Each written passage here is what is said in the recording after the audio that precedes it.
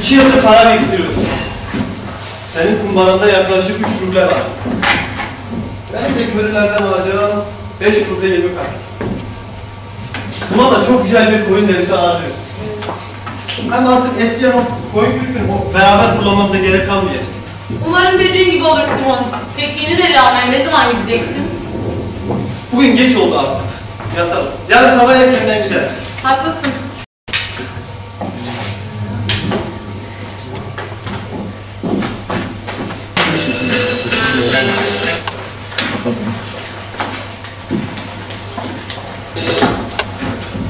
Dostum merhaba. Merhaba Simon, hoş geldin.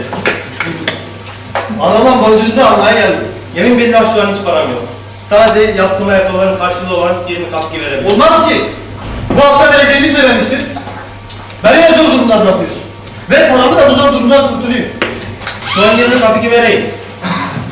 Bir kısmı içinde katkı çizmeleri vereyim. Ama kalanını ancak haftaya veririm. Kusura bakmayın. Tamam. Parayı ver. Haftaya ama mutlaka paramı istiyorum. Tamam. Borcumu yine alamam. Kül paranı da alamam artık. Atıyor bir süre dırdır edip kapamış şey. Allah'ın cezası. Ne yapacağım ben? Kendisi borç almayı deniyor. Hey satıcı. Ürünleri getirdiniz. Hoş bulduk. Yüklerine bakmıştım da. Yüklerini nasıl? Bunlar ceylan derisi, ceylan derisi. Hem sen bana verecek misin? Bunlar çok pahalı. E bakalım bir beğenmezsek alırız.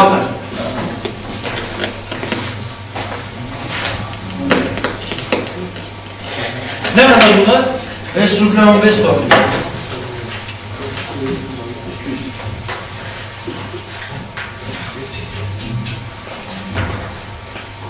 O kadar param yok ya. Borç verir misin deri? Getir parayı al vereyim. Borç yok.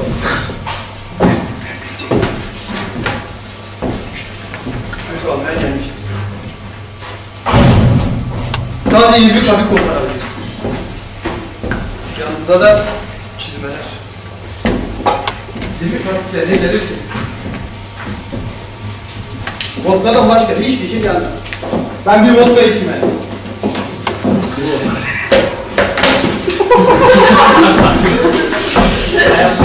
Hiç işimiyorum artık. Damarlarında vodkanın sıcaklığı var ya. Pardon deme gerek. Batıyorlar çok güzel. ben de abi çalışıyorum, didiniyorum ama paramı vermiyorlar. Siz görürsünüz. Haftaya mutlaka paramı üstüne. Şerefsizler. Bu ne? Yoksa bir öküz mü?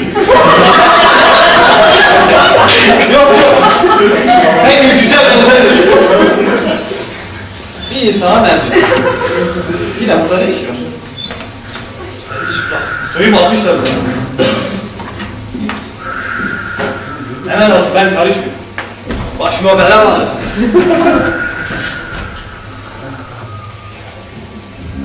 Daha bakıyorum. Parayı da işler Verdim ya. Ben ne yapıyorum? Korkup kaçıyorum. Korkup, korkacak neyin var ki senin? Paran mı var? Hey! Sen kimsin? Soğukta burada ne arıyorsun? Evin barkın yok mu senin? Çok pişiyorum. Zaman kaybetmeyelim. Hemen şunu giy. Çabuk çabuk çabuk çabuk. Şu çizmeleri de hemen giy.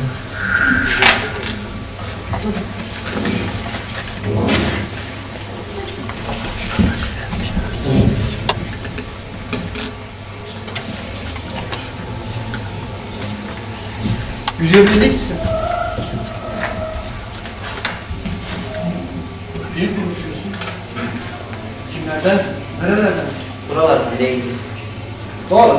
Buralardan olsa ben seni tanırım.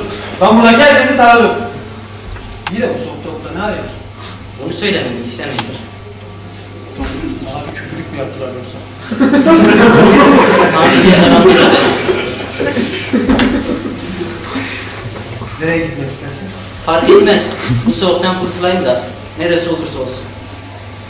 O zaman bize gidelim. Hadi sınırsın da. Hadi gidelim. Kürk almaya geldim. Kürk falan alamam. De yanına çıplak bir adam. Batırıyorlar çok güzel ama neyse. Hadi yürü gidelim.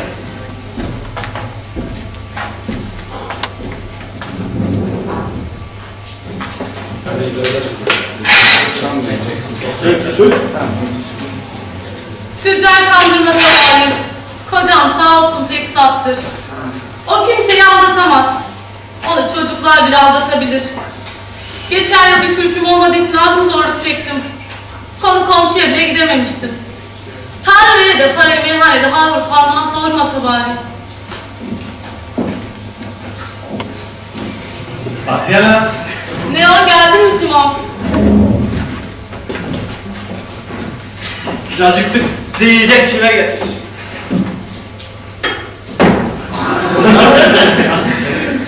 Yemek yapmadın mı yoksa? Yaptım yapmasını ama sizin için değil. Senin aklın başında değil herhalde. Üstelik içmişsin. Deli almaya gittin, yanında elin adamını getiriyorsun. Benim sarhoşlar için hazırlayacak yemeğim falan yok. Sus Matri geldiğinde ben sefer ediyoruz. Allah cezanı. Hele bir dinle neler olduğunu bir anlatayım da. Sen parayı ne yaptığını anlat Simon. Para burada. Diğerlerini alamam. O zaman benim de yemeğim yok sizin için hazırlayacak. Vermezsen verme. Ama bir dinle bak sana neler anlatacağım. Senin gibi ayyaş ve sarhoş olmanı getirmeyeyim ha. Seni canıyla dayak sür. Hadi. Çıkar şunu getir. Bir daha bakayım.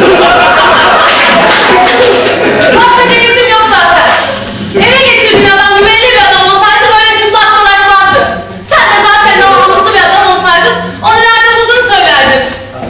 de anlatmak istediğim bu. Zaman değil, mezarlığın önünde. Üstelik de çıplak. Soğuktan ölecek bir haldeydim. Aldım buraya getirdim. Üşümesin diye montumu giydirmiştim. Sen olsaydın ne yapardın?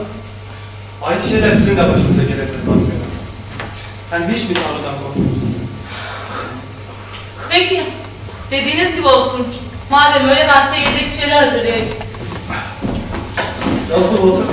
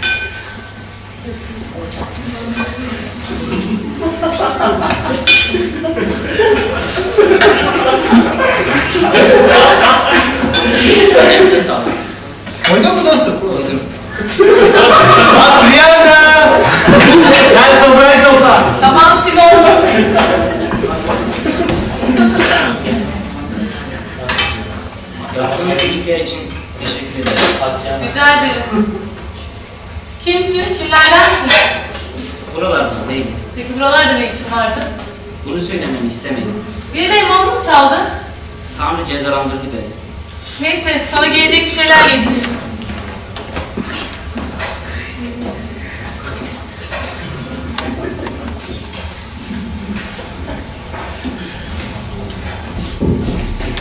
Al müdürüm, yatağın hazır.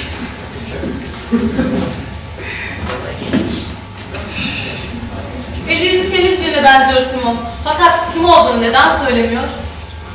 Kendine göre bir sebebi vardı mı? Belki de. Simon, Yine ne var? biz senin verdiğimiz halde neden hiç karşılık alamıyoruz? Bilmiyorum. Belki bize de bir tanrı verir. Belki de. Şöyle yatalım. Haklısın yapalım.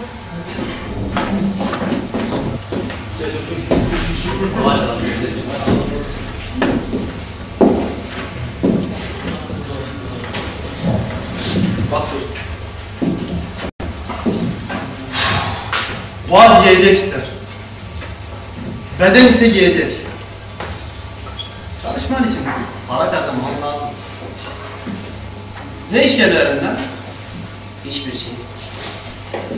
Ama istersen öğrenebilirsin. Ben de diğer insanlar gibi çalıştım. Al.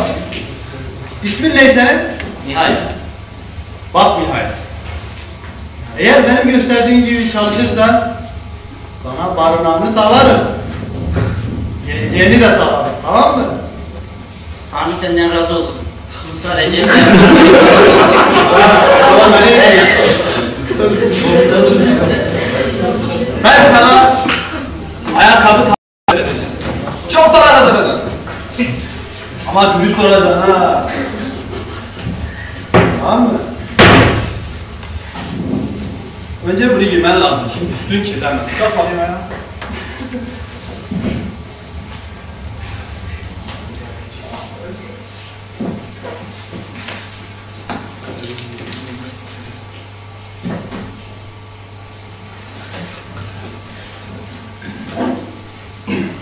Dostum. Buraya her türlü müşteri gelir. Fakirinden zenginine. İnsanlar her zaman güler yüz bekler. Gelen her müşteriye mutlaka güler yüzü olman lazım. Ayrıca deri çok nazik. Deriyi çok güzel kesmen lazım. Hiç hata yapmaman lazım adam. Deri çok kaliteli biliyor musun? Bir hata yaparsan deriyi mahvedersin. Ayrıca dikişleri de çok sağlam atman lazım. Ki atmasın deriler. Tek bir şekilde hayatını kurtarabilirsin. Tamam?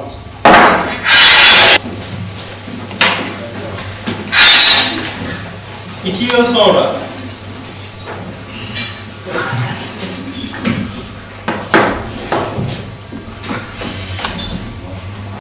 Sağ Ha, Nerede efendim buyurun. Fetka, deri açmış herif. Bana bak usta, bu deriyi görüyor musun? Görüyorum. Bu deriden bir çizme koyar mısın bana? Yaparız. Bu derinin peki nasıl bir deri olduğunu söyleyebilir misin? Bakarız. İyi deri, güzel deri. Pekala. Yalnız dikkat et. Yapacağın çizme bir yıl boyunca dayanacak. Dikişler atmayacak ve şekli bozulmayacak. Anlaşıldı mı? Evet. Tamam. Şimdi. Fetka. Ayakkabı çıkar. Öpeceğim usta.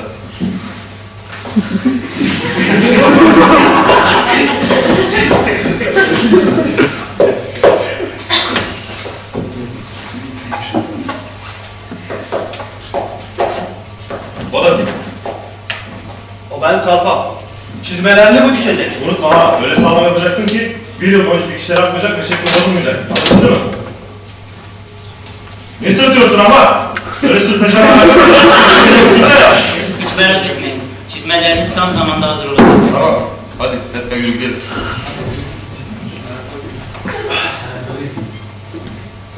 Kolay gelsin.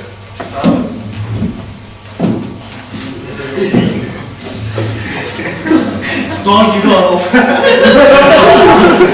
Kafasına tavanla bile vursan bir şey olmaz. Böylelerin Azrail'le bir şey yapamaz.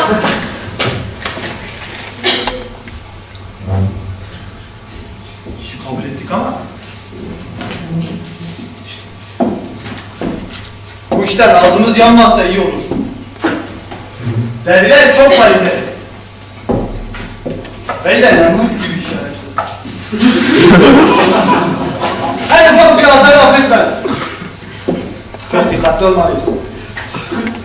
Nihayet senin gözlerin keskin. Her hafta yaşlandın. Şimdi bu ölçülere göre seni keseceğim tamam mı? Dikeceğim. Tamam mı? Ben geliyorum. Sen etme. Tamam, hadi görüşürüz.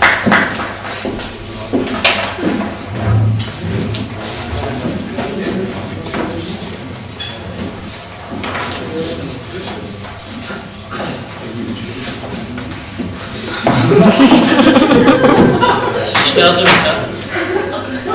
Lan bu ne? Öküz. Lan ben güzel üstüme işlemiştim, sen gelmişsin terlik yapmışsın. Nerede yaptın ben de işlemişim. Terlik yapamadın.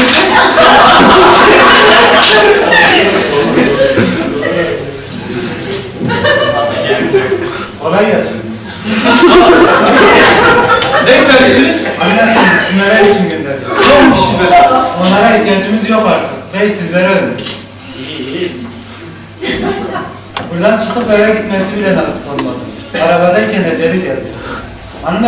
Size görmemi isteyip kendisi için çizme sipariş verin beyin. Artık çizmeye ihtiyacı yok. En çabuk tarafında afiş tertipler gitsin dedi. Bunları söylemek için geldim. Ya devir.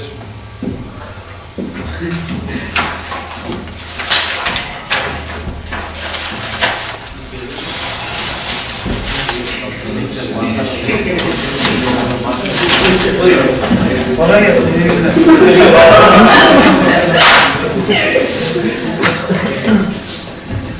Hayır. Adamın öleceğini nereden bildin? Tek söyleyeceğim. Tanrı beni cezalandırdı. Altı yıl sonra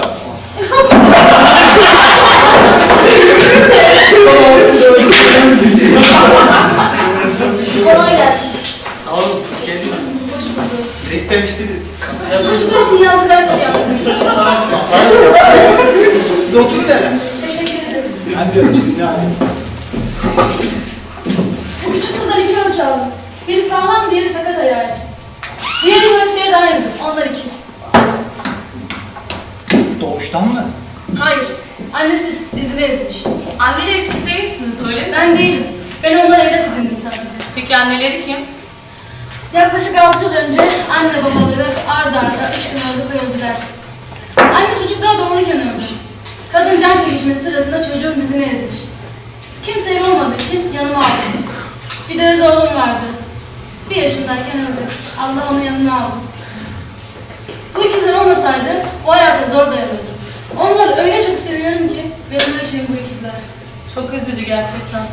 Evet ama hayat Hastasınız. Neyse. Ölçüler altında beraber değil. Size kolay gelsin. Teşekkür ederim. Hadi çocuklar gidelim.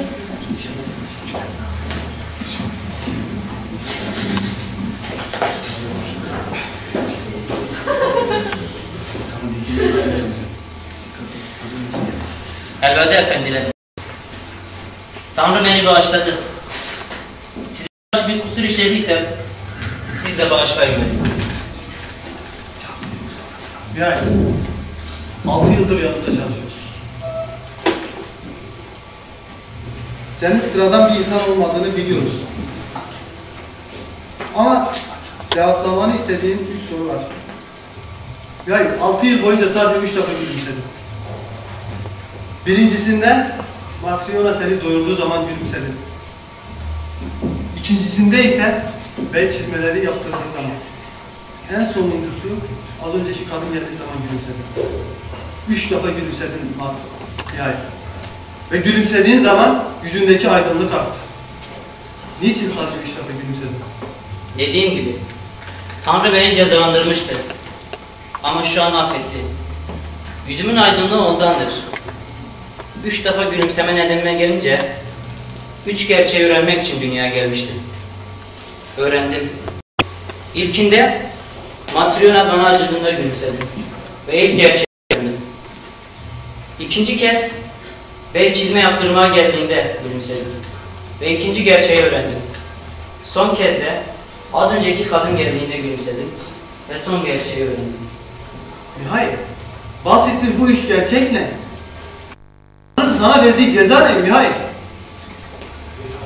Tanrı'nın yolundan ayrıldığım için Tanrı beni cezalandırmıştı. Bundan tam altı yıl önce dünyaya bir kadın canını almak için gelmiştim. Dünyaya vardığımda kadın ikiz çocukları doğurmuştu. Onun canını alacağımı fark etti. Ve gözyaşları dökerek yalvarmaya başladı. Kocasının bir ağacın altında kalarak az önce öldüğünü, kiminin kimsesinin olmadığını, eğer canını alırsam çocuklarla kimse bakamayacaktı.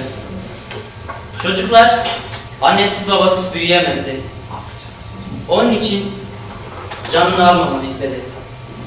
Ben de kadına acıyarak tekrar göklere yükseldim. Tanrı'nın yanına vardığımda çocukları hatırına kadının canını almadığımı söyledim. Tanrı git ve kadının ruhunu teslim etmesini sağla. Daha sonra dünyada üç gerçeği öğren. İnsanın içinde ne vardır? İnsana verilmeyen nedir? Ve insan neyle yaşar? Bu gerçekleri öğren ve tekrar göklere dön dedi. Dünyaya dönüp kadının ruhunu aldım. Kadının ruhuyla birlikte göklere yükselirken bir esintiye kapılıp yol kenarına düştüm. Kadının ruhu tek başına göklere yükseldi. Daha sonra Simon'la karşılaştım.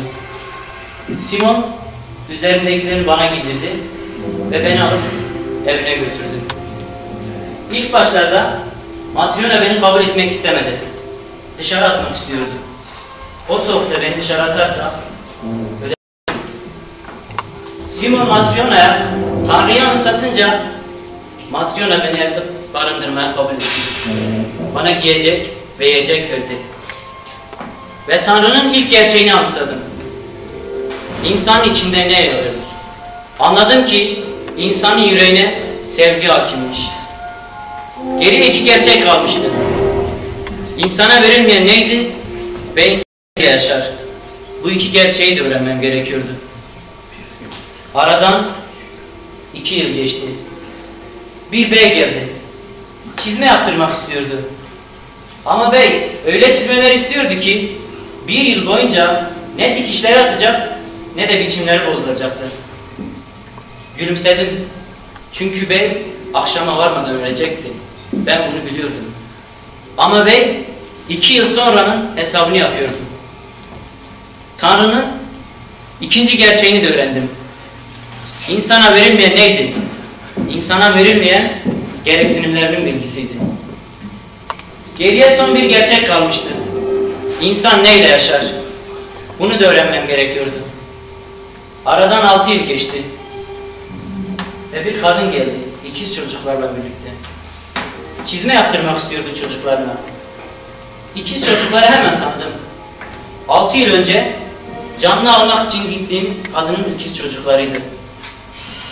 Bu kadın ikizleri o kadar çok seviyordu ki onlarsız yaşayamayacağını söylüyordu. Onları öz çocuğu gibi seviyordu.